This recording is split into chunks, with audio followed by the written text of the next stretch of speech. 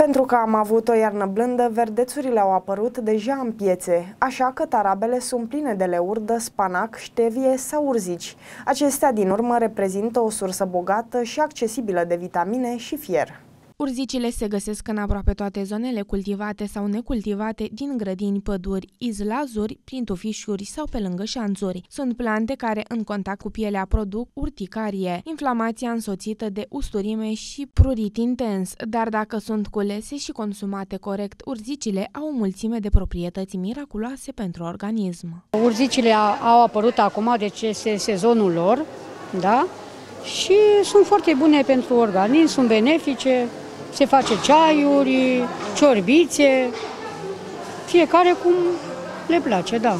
Să înțeleg că le găsim doar în această perioadă. Da, doar în această perioadă, până la Paște, până la Sfintele Paște, da. Oamenii au venit deja, întreabă de... Da, întreabă, unii cumpără, la alții nu le convine prețul, sunt prea scumpe. Da. Care este prețul unei punguțe? 5 lei punguța, dar nici nu prea se găsesc în pădure din cauza frigului au cam pierit așa. Dar să sperăm că o să mai apară. Urzicile au fost folosite ca plante medicinale din cele mai vechi timpuri. În Egiptul antic, urzicile erau utilizate ca remediu împotriva durerilor de spate și artritei, în timp ce soldații români își puneau frunze de urzică pe piele, deoarece senzația pe care acestea le provoca le ținea de cald. Mai mult, în medicina tradițională europeană, urzicile erau folosite pentru a trata reumatismul, problemele gastrointestinale sau tulburări ale tractului urinar. Că sunt foarte bune. Și ciorbă și să te speli cu pe cap, eu beau și zeama aia. E foarte bună de băut. Urzicile sunt o sursă bogată de vitamine și nutrienți și așa cum arată studiile, extractul de urzici poate crește nivelul de antioxidanți din sânge. Acestea pot fi consumate în diferite mâncăruri, după ce le-ai fiert în prealabil sau le poți usca pentru a le folosi, apoi la prepararea ceaiurilor. Nu cumpăr că sunt de la țară și le culeg. Sunt foarte bune pentru schimbarea sângelui, așa să zice acum. Cum le preparați?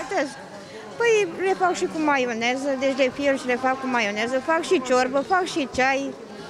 Se pune și la mâncare de urzici cu tocă, ca un fel de tocăniță. Eu nu cumpăr cam la țară. Culeg de la țară, sunt foarte bune. În perioada de primăvară sunt foarte bune. Cum le preparați dumneavoastră? Le facem ciorbă, le facem prăjite, ca la țară, cum 抱不动你了咋了？În vechiul calendar lunar al românilor, 1 martie coincidea cu începutul anului nou, iar luna respectivă era dedicată zeului Marte, divinitate a vegetației și protector al căsătoriilor. Tot acum românii celebrau sărbătoarea femeilor, bărbații oferind daruri soțiilor. Astăzi, în martie, sunt programate toate lucrurile de primăvară la câmp și în gospodării, semn că natura reînvie. În lumea satelor încă se mai ține cont de superstiții. Cine mănâncă urzici în această lună, prima buruiană din martie va fi sănătos tot anul.